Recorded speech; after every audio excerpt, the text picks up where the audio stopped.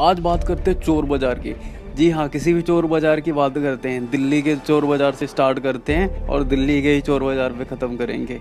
जी हाँ दिल्ली चोर बाज़ार में जाने से पहले कुछ सावधानियाँ बरतनी पड़ेंगी या किसी भी चोर बाज़ार में जाने से पहले आपको कुछ सावधानी रखनी पड़ेगी। कहीं ऐसा ना हो, दूसरी दुकान पे आप अपना ही सामान खरीद लें। जी हाँ चलो बात करते हैं। दिल्ली चोर बाज़ार जामा मस्जिद के सामने, मीना बाज़ार के साथ हर संडे को लगता है। ये बाज़ार है ना, जल्दी साढ़े छः या सात बजे शुरू हो जाता है।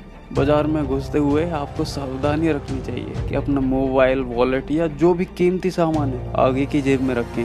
केवल उतने ही पैसे ले जाएँ जितनी आपको ज़रूरत हो। अगर कंधे पर बैग है तो हमेशा ही सावधान रहें, सतर्क रहें। कहीं ऐसा ना हो, आपका सामान कहीं थोड़ी देर में किसी और दूसरी दुकान पर बिक रहा हो और आप आराम से, प्यार से उसे सस्ते में ख़रीद लें और घर जाके देखें ये सामान तो मेरा ही है और मुझे ही बेच दिया।